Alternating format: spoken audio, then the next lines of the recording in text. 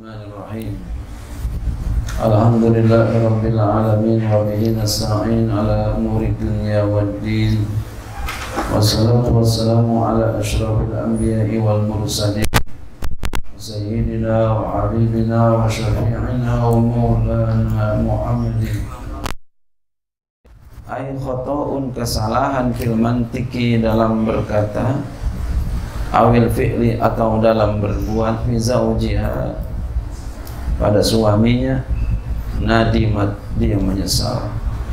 Dikasih dalil dengan kasrah dal watabat dan dia bertobat. Halan ay bisuratin dengan cepat. Wastaqtafat ay talabat dan dia menuntut ridahu akan ridhonya ay zauji ridho suami bil talattufi dengan lembut jadi kata beliau seorang perempuan yang saleha istri yang saleha apabila dia terjadi kesalahan kepada suaminya apa itu kesalahan di dalam berkata atau dalam berbuat?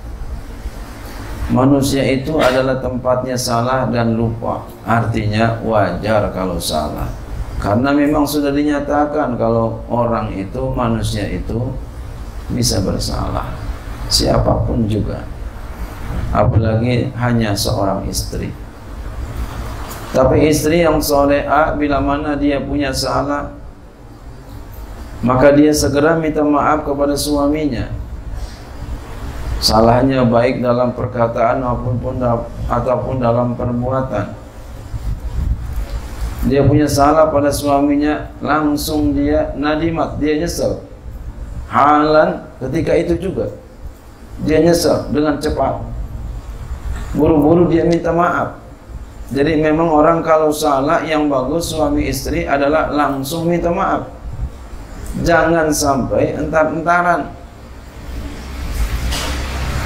Dan jangan sampai apabila seorang istri punya salah kepada suami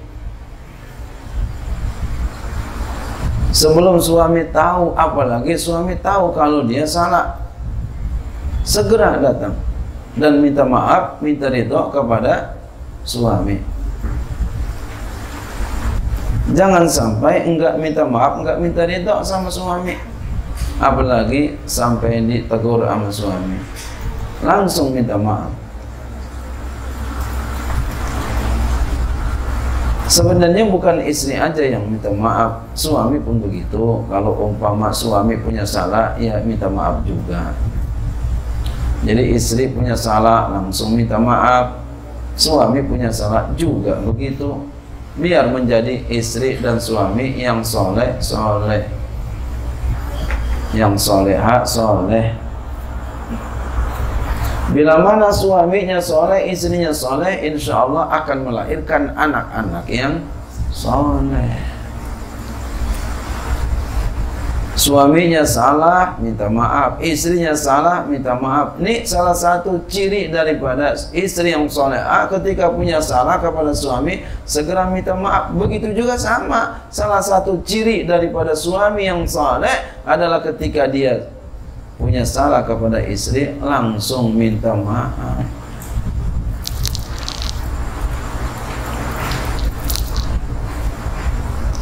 Wasta'tofat dia langsung minta menuntut ridho akan ridho suaminya.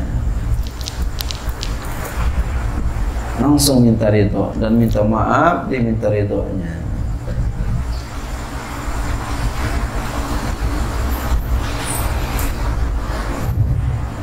dan bilangin salahnya. Jangan kagak dibilangin. Maaf bang. Tadi saya bicara ini sama abang. Maafin. Neng enggak tahu, Neng enggak sadar, Neng lupa. Maafin Neng abang. Saya yakin kalau istri selalu seperti ini, ya, suaminya akan memaafkan. Dan memang kita kalau ada orang punya salah kita mudah memaafkan. Jangan enggak ada kata-kata tiada maaf bagimu. Jangan ya orang udah minta maaf kita maafin betapapun salahnya yang penting dia sungguh minta maaf Kemudian apalagi watabki ay hadhil mar'atu ayyaman adidatan khaufan min iqabillahi ta'ala ala zallatiha. Watabki dan dia menangis. Ay hadhil mar'atu perempuan ini ayyaman beberapa hari. Adidatan yang berbilang-bilang maksudnya banyak. Nangis dia. Khaufan kenapa nangisnya? Karena takut. Min iqabillahi ta'ala dari siksaan Allah ta'ala ala zallati atas kesalahannya itu kegelincirannya itu nangis. Abang maafin saya bang saya khilaf saya lupa saya silap ya. jadi istri yang baik kalau salah langsung minta maaf jangan diem aja apalagi sampai ditegur sama suaminya hei jangan Kalau salah langsung minta maaf. Dibiasain ini. Karena enggak semua orang mudah meminta maaf. Banyak orang susah minta maaf padahal salah. Jangan sampai menjadi istri ketahuan salah, udah jelas salah, bahkan walaupun enggak ketahuan dia hanya dia saja yang tahu, dirinya saja yang tahu dia salah, tetap minta maaf sama suami. Minta ridhonya.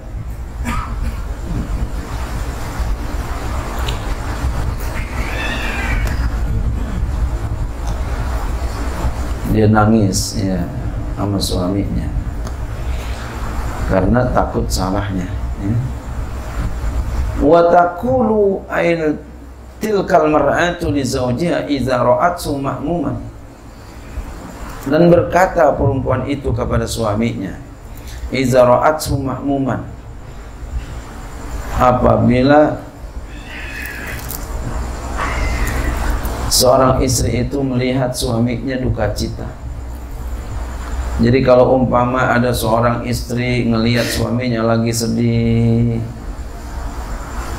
istri yang soleh ya ai makzunan sedih duka cita dia akan berkata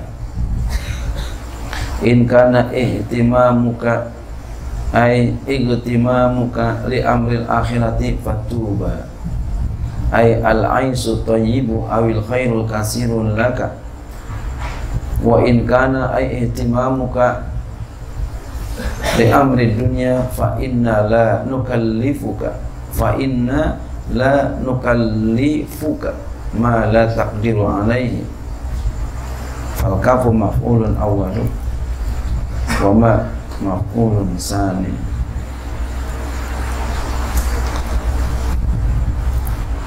berkata seorang perempuan seorang istri yang saleha kepada suaminya.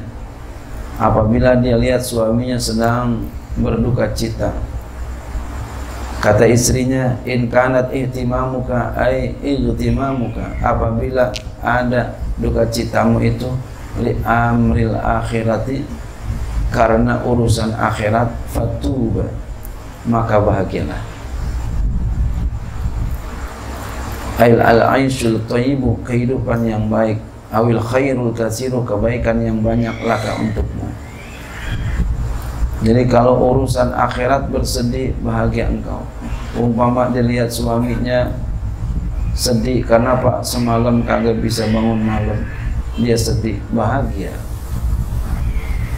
Kemarin puasa Senin Kemis kemudian kagak puasa Senin Kemis dia sedih bahagia biasa sedekah umpama hari Jumat atau setiap hari kemudian enggak sedekah dia sedih bahagia.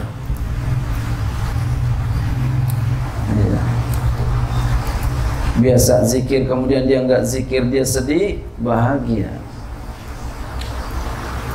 Jadi sedihnya karena akhirat. Bukan sedihnya karena dunia bukan jawaban tadi umpama hobi kan kagak tembus sedih. Karena dunia ini enggak. Itu enggak bagus. Itu karena dunia. Iya. Orang datang ke rumah ke kita nggak ada di rumah. Mau bagi duit kemudian nggak jadi bagi duit. Dia sedih ini dunia nggak pantas sedih.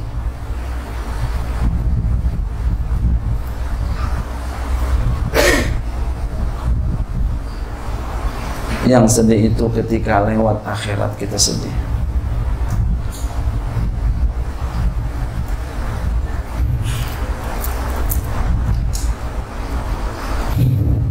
di amril akhirati karena urusan akhirat. Fatuba maka bahagialah ail al aisu ail aisyul ail aisyul tayyibu kehidupan yang baik.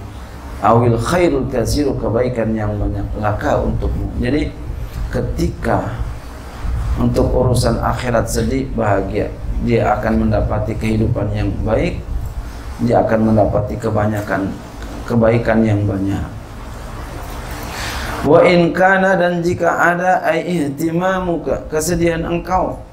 Li amri dunia bagi urusan dunia. Fa inna maka sesungguhnya kami la nukallifuka. Kami tidak akan membebani engkau. Ma la taqdiru alai apa yang engkau enggak mampu. Ini istri yang baik bakal begini kalau kamu bersedih karena urusan dunia, kami nggak bakalan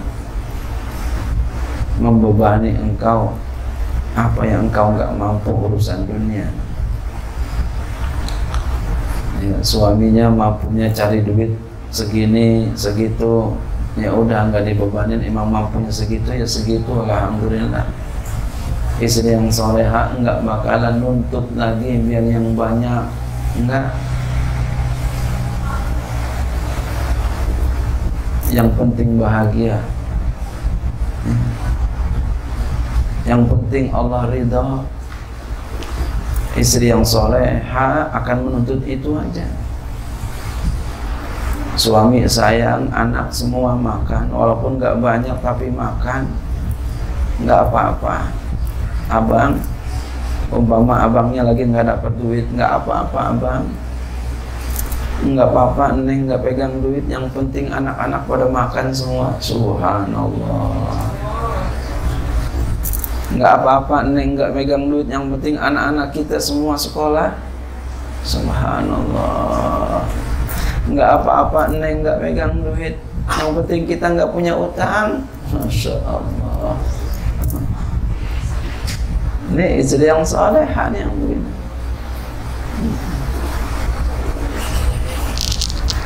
nggak apa-apa neng nggak pegang duit. Yang penting abang sehat. Masya Allah.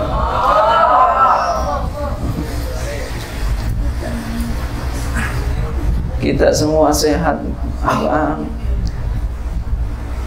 Dicium tangannya dipeluk suaminya. Abang nggak usah sedih abang. Abang dipecat nggak apa-apa. Besok ntar dapat lagi kerjaan. Subhanallah. Ini istri yang soleh Jangan ketika abangnya kagak punya duit, abangnya dikata-katain. Dasar orang miskin. Astagfirullahaladzim. Jangan. Itu ciri istri yang toleha. Bukan yang soleha. Istri toleha. Iya, hidup ini kan bagaikan roda berputar kadang di atas, kadang di tengah, kadang di bawah. Orang yang cerdas pandai menghadapi ini, menyikapi ini. Dia sadar hidup ini nggak selalu di atas, kadang di bawah, kadang di tengah, kadang di atas.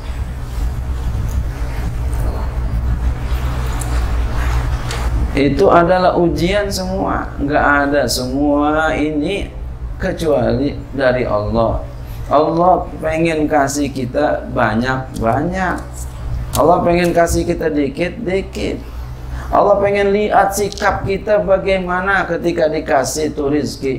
Dikasih rizki banyak kira-kira sikap kita apa? Dikasih rezeki sedikit, kira-kira sikap kita apa sama Allah? Padahal Allah udah kasih tahu rumusnya. La in syakartum la azidannakum wa la in kafartum in adzabi lasyadid. Allah kasih rumusnya tuh. Buat bersikap, buat menyikapi segala apa yang Allah berikan kepada kita. Ketika kita syukur, nanti Allah tambahin. Ketika kita kufur, Allah kurangin. Pilih mana? Mau ditambahin apa dikurangin? Semua kita pasti kepengen ditambahin. Maka yang kita harus lakukan rumusnya adalah bersyukur.